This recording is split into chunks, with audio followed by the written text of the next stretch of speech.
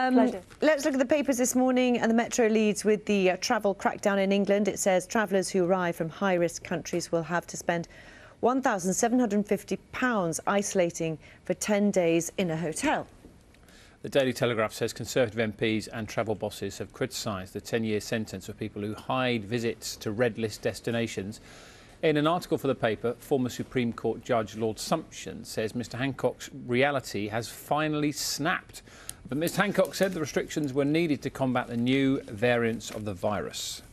The Daily Express's headline is uh, a kick in the teeth for NHS heroes. It says NHS staff who've worked flat out during the COVID crisis are being penalised by the relaunch of hospital parking charges.